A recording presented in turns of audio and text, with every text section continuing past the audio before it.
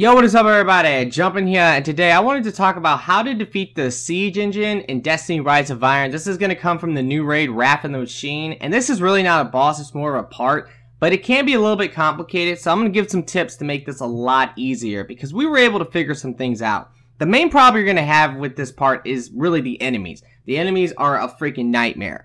Now the first thing you're going to want to do is jump on top of this crate. There's an ammo box back here, and there's a crate that you can jump on. This will protect you from the melees from the dregs. They cannot hit you up here.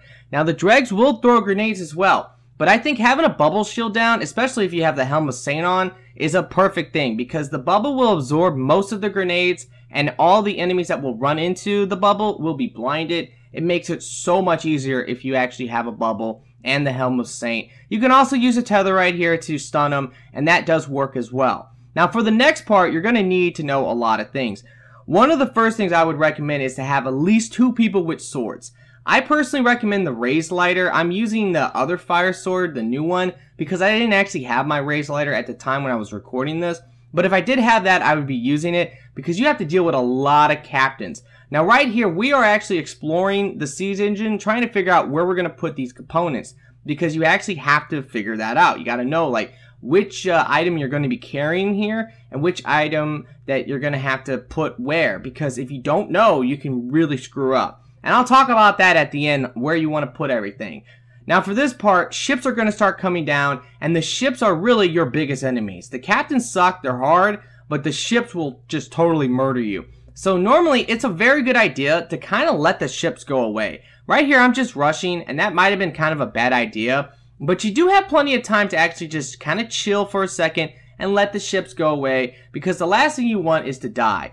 Now what you have to do is you have to pick up these components and start carrying them. Now you can only carry them for 10 seconds and then someone else has to carry them or you have to wait another 10 seconds and you can carry again.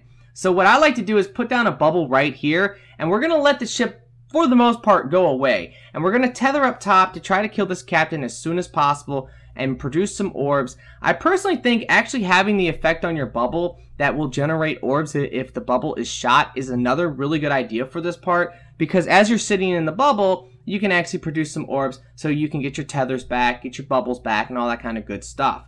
Now, right here, we're going to put down another bubble because there's going to be another wave of enemies that we need to quickly deal with, and then we're going to move on to the final part, which is actually definitely the hardest part in terms of like enemies and everything. Another ship's going to come, and once again, I would highly recommend to not actually engage the enemies until the ship is gone. Having a Stormcaller Warlock does help right here a lot. Or maybe even having a Hammer Titan would be a good idea.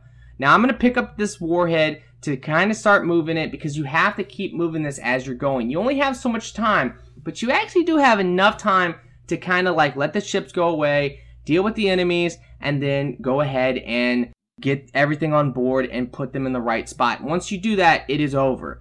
Now, at this point, we're going to send one of our sword guides up top onto the siege engine because what he's doing, there's going to be a captain at the very top. You have to kill that captain at the very top of the siege engine if you want to actually be able to take any of these components on board. Because what's going to happen is, and you'll see right now, a ramp's going to come down on the right side. Unfortunately, you can also shoot these stupid mines that will slow you down. But a lot of times, you know, it's just one of those things where you won't catch it in time. Now, as we're taking this on board, we're going to keep transferring people carrying so that we can try to get it in as quickly as possible. The warhead will go in the middle. I believe the engine will go on the right as you first get on board. You'll see it right there on the screen. And the final one, which I believe is the dry core, will actually go ahead and go in the back. So that's the one you have to carry the longest. And then once you put that in, you are pretty much done. And what's going to happen is the siege engine is going to fall off the cliff and you will be rewarded. Now, I think that the main thing here, besides using your tethers, your bubbles, maybe using a Stormcaller or a Hammer class to help clear ads, is to also use at least two swords. I think the swords work wonders for this part. And also, shotguns are pretty good. Now, having a sniper is nice for the beginning for shooting the turrets, but if you have a scout rifle, you can do a lot of damage as well. So I think maybe at least one person with a shotgun, maybe two, and two people with a sword, and everyone else with the Gjallarhorn will make this part an absolute breeze, at least on normal. We don't know what it's going to be like on hard yet. It could be extremely difficult.